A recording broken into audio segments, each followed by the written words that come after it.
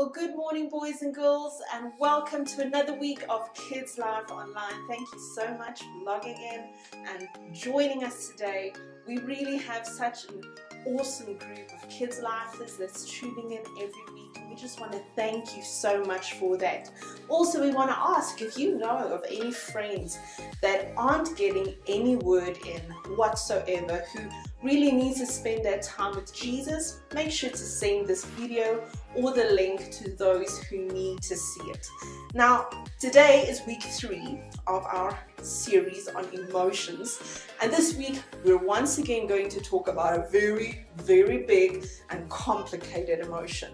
But before we get into all of that, let's get ready for some praise and worship. So, why don't you get to your feet, spread out, make sure there's no distractions And no obstacles you can trip and fall over, and let's be sure to give our best to God today. And now, when I say best, I'm not talking about you have to be the best singer or the best dancer, because that's not what God looks at whatsoever.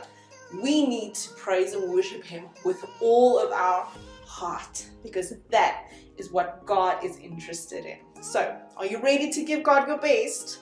Well, let's go.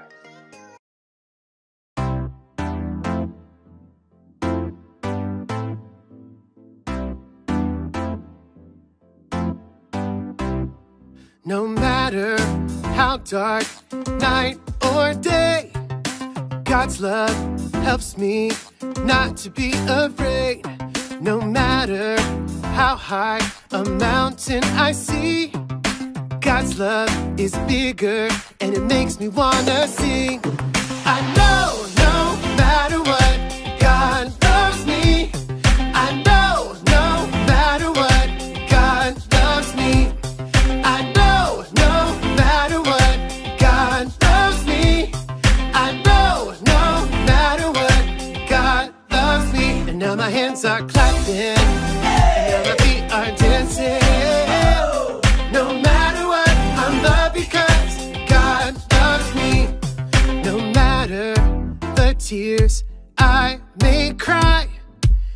God's love is still here, and I'll be alright. And when it's hard to say goodbye, and I just don't wanna do it, God's love is what I got, and He will help me through it. I know no matter what,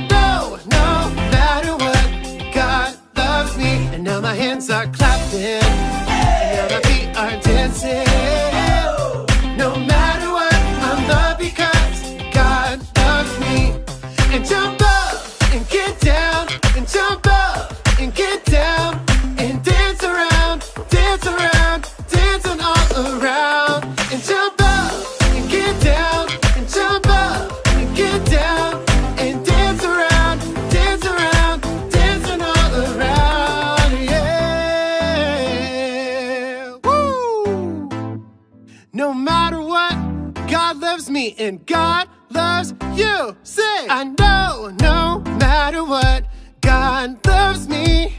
I know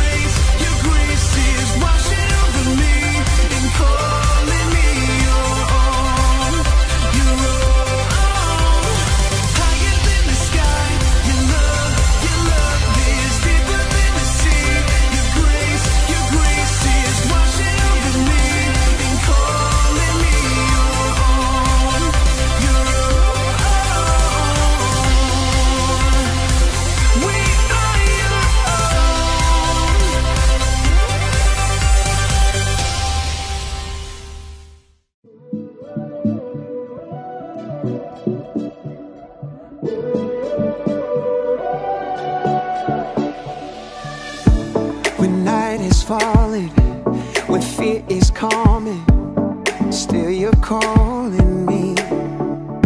Yeah, when faith is lost and my hope exhausted, you will be my strength. When my mind says I'm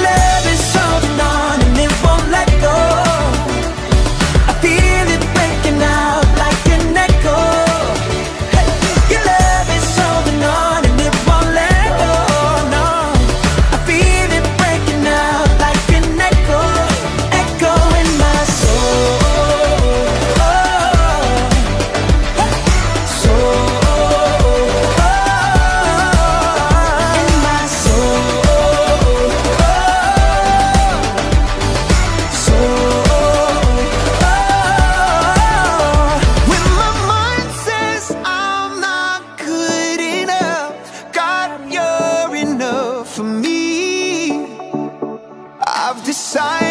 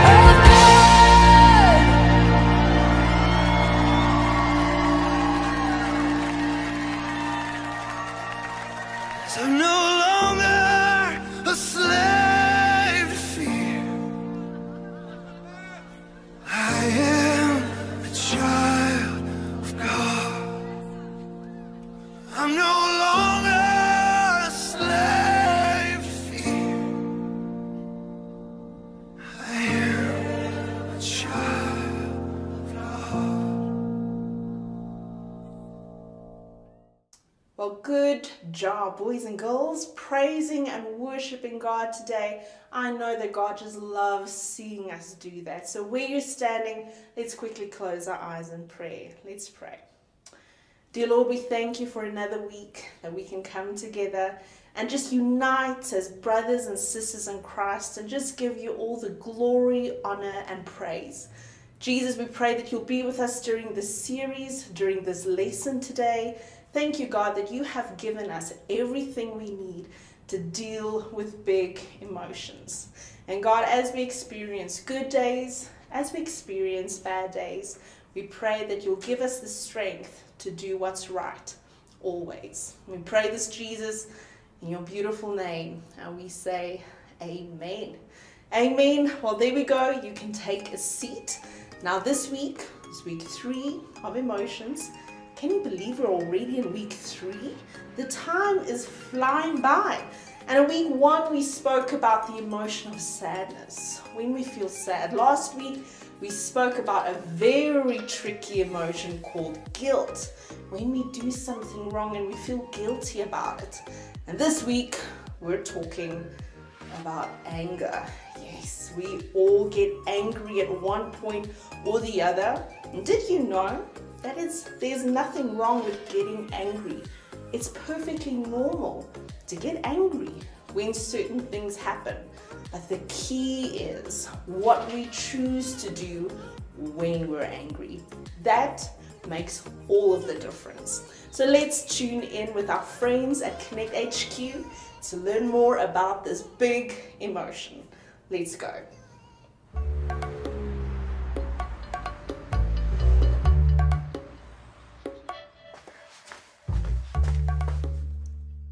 Sorry, I asked for blueberries, not strawberries.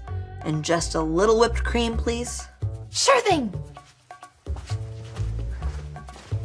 Hey, what are you two up to? Professor Malcolm asked for my help running an experiment on anger. Jake is our test subject. I've taken him the wrong order three times now.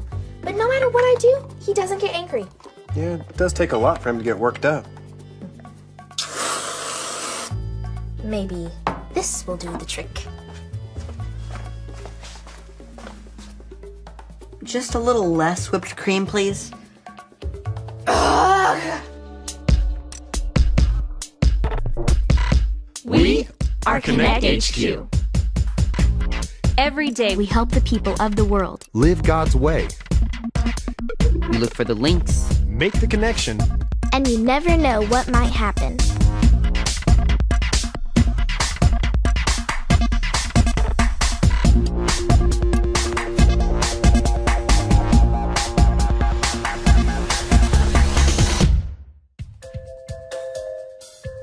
I'm Jake, and this is the time I learned how to deal with anger.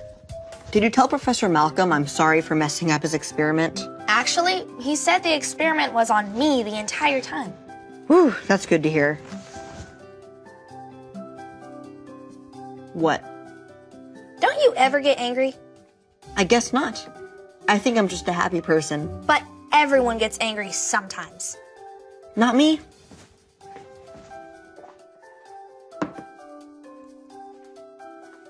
Would you stop staring at me? Is it making you angry? No. It's just freaking me out a little. Hey, we got a postcard. Let's see. Dear Connect HQ, last week my friend came over to play video games. When he lost a game, he threw one of my controllers and broke it. Now I'm really mad at my friend. But is that okay? Is it a sin to be angry? From Finn. I'd be mad at that kid too. You're not gonna tell Finn that, are you? Why not? It's okay for us to be angry, as long as our anger doesn't stop us from doing what God wants us to do. I learned a couple years ago that if I'm angry and I want to fight, God can help me do what's right. If I'm angry and I wanna fight, God can help me do what's right? I'm not sure whether or not I believe that. Anger just seems so. bad. We might need someone else's help to sort this out. Quick question Would you tell Jake that anger is not a sin? Or if it is a sin, would you tell Dot that instead? Well, believe it or not, Jake, anger is not a sin. Really? Huh. Hey, uh, maybe you and I should have a conversation about bragging later. Fair enough. Jake, will you say a verse with me? Sure. It's from the book of Ephesians, chapter 4, verse 26. It goes like this. Ephesians 4:26. Ephesians 4:26. When you are angry, do not sin. When you are angry, do not sin. Do not let the sun go down while you are still angry. Do not let the sun go down while you are still angry. Anger's a tricky thing. It can lead us to do the right thing, but it can also lead us to do the wrong thing if we're not careful. Right. That's why it's important to deal with our anger when we feel it. Ignoring it or acting out in anger by hurting others or getting revenge isn't good for us. I get what you're saying, but I just don't know if I could ever be comfortable being angry. Hmm. You know what? I have an idea. Follow me.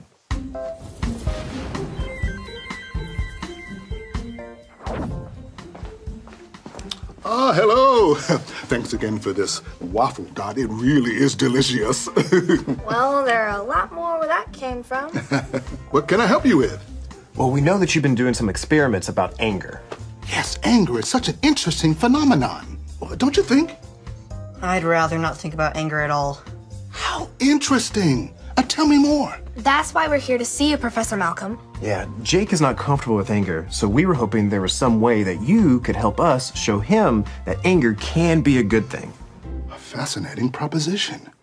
It would require some preparation, But yes, I think I can help.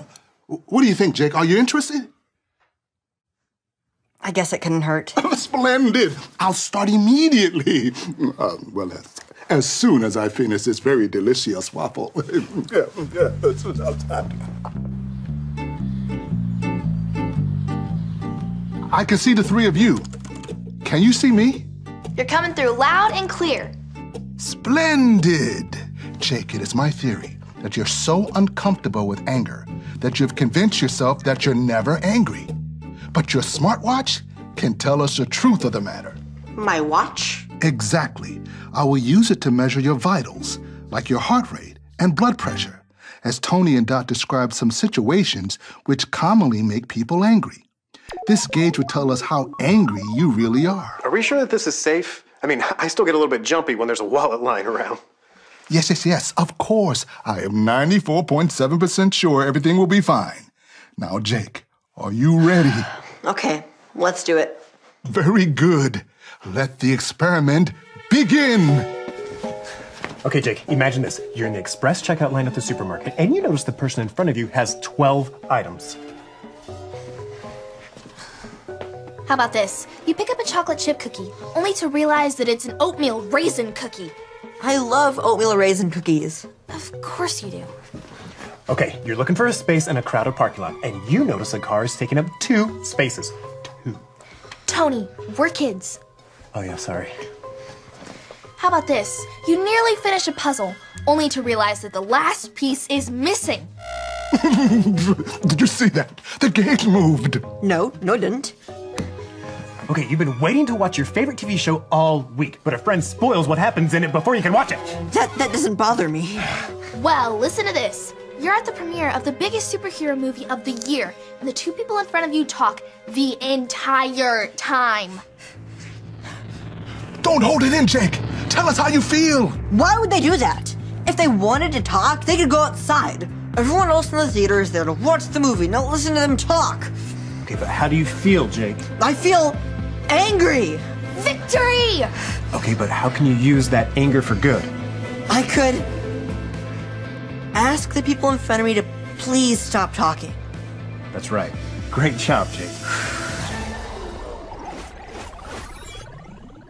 So, Jake, how are you feeling? I feel great. I hadn't realized how often I hold in my feelings. I think I'm gonna like being more honest. Oh, perfect. I think we can call this experiment a success. Do you want to help me track down a Bible link for Finn? Let's do it. Thanks for everything, Professor Malcolm. Of course, Tony. I, I, I just have one suggestion. Yeah.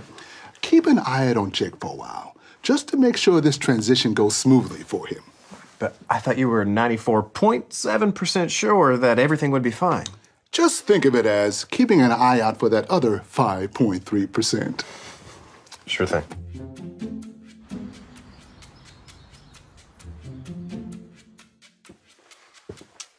Nice chocolate chip cookies. Tony, I think we made a mistake. How so? It's Jake. He's getting angrier. I think we need to help him deal with what he's feeling before the sun goes down. Hmm. Tell me what happened. Well, first he got a little snippy with Mike when Mike was goofing off earlier. Well, Mike probably shouldn't have been goofing off. Sure. But then he wasn't very nice to Maurice when Maurice nearly fell on top of him. Well, I can see how that would scare Jake. Well, and he's just getting used to expressing his anger, you know? Oatmeal raisin, my favorite. Chocolate chip? What sort of monster leaves chocolate chip cookies just laying around? Ew. Yeah, we should probably talk to Yeah, him. Yeah, definitely.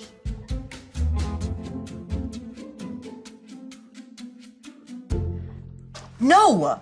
That video won't work as the Bible link. Come on, Archives. You should be better than this. Okay. Uh, hey, Jake. Tony, Dot. Hey. How are you doing, buddy? Still loving my newfound freedom.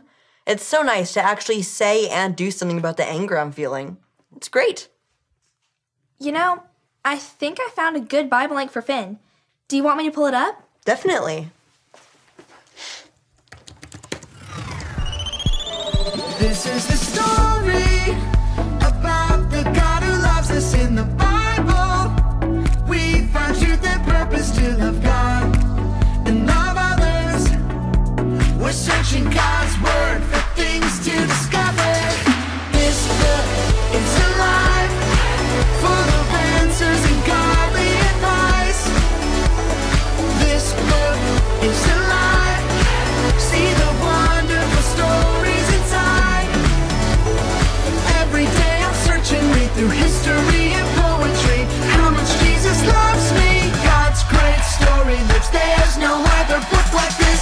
This book is alive. First Samuel. In the Bible, there was a rich man named Nabal who was known for being rude. Nabal had a large flock of sheep and goats, and a wife named Abigail. Unlike Nabal, Abigail was known for being sweet. Hi. Not far from where Nabal and Abigail lived, King David and his men were camping. David needed some supplies, so he gathered some of his men to send to Nabal's house. He told them to greet Nabal with kind words, and Nabal should return their kindness. So the men went to Nabal, greeted him with nice words, and asked him for some supplies. But Nabal was nasty. Go away. He shouted insults at them and told them to leave. The men returned to David and told him the things that Nabal had said. David was furious. He told his men to grab their swords so they could get even with Nabal. Meanwhile, back at Nabal's farm, Abigail heard how poorly Nabal treated David's men. She knew her husband's bad attitude could mean trouble for them. So she gathered food and supplies and loaded them up on donkeys. David and his men stormed through the desert, ready to get revenge on Nabal. Suddenly, they saw someone approaching. It was Abigail. Abigail bowed down to King David and begged him not to hurt Nabal. She asked David to stop and think before he acted out of his anger. David took a deep breath and thanked God for sending Abigail to calm him down. David accepted Abigail's gift of supplies and went home instead of doing something he might regret later on. Hooray! Because Abigail asked him to think about forgiveness, David chose peace instead of anger. David was so mad at Nabal that he wanted to kill him. But Abigail talked to him nicely and helped him deal with his anger so he wouldn't sin. It's important for all of us to learn how to control our anger and to talk to God about how we're feeling and give ourselves a moment to cool down before we make any decisions. Jake? I think I've been letting my anger get the better of me. It's the first time you've tried to deal with your anger. It makes sense it wouldn't be easy. What do I do if I sin when I'm angry? God loves you no matter what. So just ask for forgiveness from Him and then apologize to people that you may have hurt. I'm pretty sure I need to apologize to Mike and Maurice and to whoever made those chocolate chip cookies. And don't forget to forgive yourself. Right. Thanks for helping me figure all this out. This anger stuff is tough. Well, that's why God gave us leaders and friends to help us learn. And I think you could help Finn by telling him what you've learned, Jake. Do you want to help me make his transmission? Let's do it.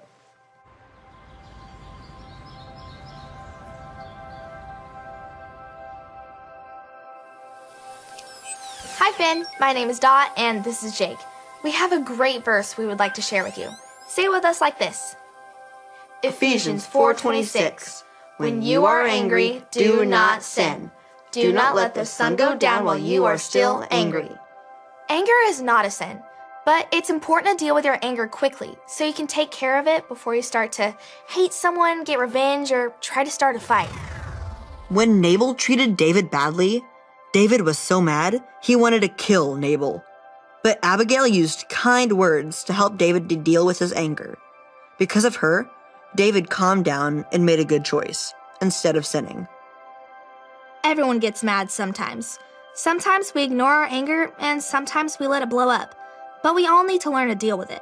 A few of the best ways to control anger are giving yourself time to cool down, and talking about what you're feeling to God and trusted friends or adults. And if you do sin when you're angry, don't worry. God still loves you. Apologize to God and to the person you hurt. And forgive yourself too. Don't forget, if I'm angry and I want to fight, God can help me do what's right. And remember, Connect HQ is here to help you.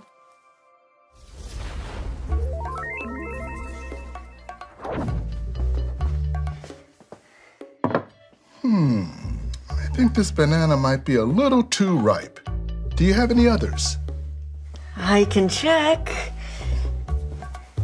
Is this another experiment? I have no idea. Well, I guess this gives me a chance to practice doing what's right, even when I feel angry. Deep breath. That's better.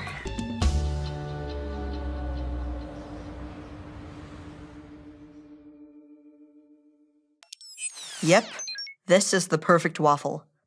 Although, now that I think about it, I could use some raisins and oatmeal. You know, maybe I just want a cookie. Emotions like anger aren't always easy to deal with, but God can help us do what's right no matter what we're feeling.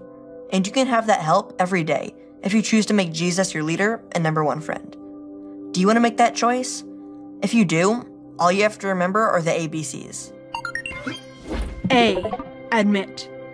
Admit that you've done wrong and ask God to forgive you for disobeying Him. B. Believe. Believe God sent Jesus to take the punishment for your sin. Trust that you're forgiven because Jesus made you right with God. C. Choose. Choose to spend your whole life depending on God's power to help you say no to sin. As you live and love like Jesus, tell others God is your leader and number one friend. Did you make that decision today? If so, be sure to talk about it with a parent or a leader you trust. Well, now we know that getting angry, being mad sometimes is absolutely normal. It's a normal emotion. But the difference comes in with what we choose to do when we experience this emotion. What we choose to do next when we're angry makes all of the difference. We can either have a good, healthy response, or we can have a bad, sinful response to anger. In fact, I want us to play a little game, but you need to help me out with this, okay? I'm to give you different types of responses and when we get angry. And if you think it's a good, healthy response, you need to comment with a thumbs up. But if you think this is an unhealthy, sinful response, I want you to comment with a thumbs down. Now, if you don't have emojis and you can't comment in emojis, you can just comment. If it's a right response, you can comment right way. Or if it's a wrong response, you can comment wrong way. So either, whatever suits you best. So let me get my notes out and let's see how many you can get right.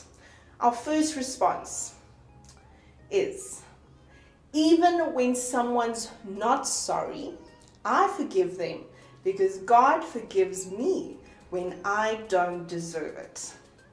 What do you think? Do you think that's the right response or the wrong response? I'm going to give you five seconds to comment. Ready? Five, four, three, two, one.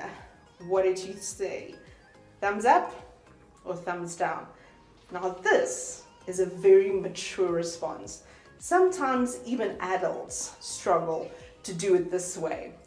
This is a definite thumbs up. So well done if you comment with a thumbs up or if you say right way, you are absolutely correct. When someone doesn't even apologize, it's still up to us to forgive them. Because when we do that, we also allow ourselves to get rid of that anger. Okay, our next one. Hmm, let's see. Ooh, I keep my feelings to myself because talking about them doesn't help. What do you think? Thumbs up or thumbs down? I'm going to give you four seconds to comment. Four, three, two, one. There we go. Now, This is a tricky one, and I think a lot of people do this. When we get angry, when something makes us mad, we don't say anything. We just keep quiet. We just keep it all to ourselves. But this is a definite thumbs down. This is not the right way to respond in this situation. We should never keep our feelings bottled up. That can really have a negative impact on us. We need to share our feelings. When you get angry, tell someone, share it, talk it out with that person. That is a way healthier way to deal with that. Okay, one more. Let's see. Hmm. I say encouraging Bible verses to myself when I get angry. What do you think? Thumbs up or thumbs down? I'm going to give you three seconds to comment. Ready? Three, two, one. Well, if you say thumbs up, you are absolutely right. This was an easy one, right? The Bible is full of verses that can help us in every situation. And when we get angry, you bet there's scripture that can help you deal with that anger. So familiarize yourself. Ask mom and dad to give you, help you find these scriptures and memorize them so that whenever you feel angry, immediately that Bible verse can pop up and give you the peace that you need. Okay, do you want one bonus one? I'm going to give you one bonus one. Okay.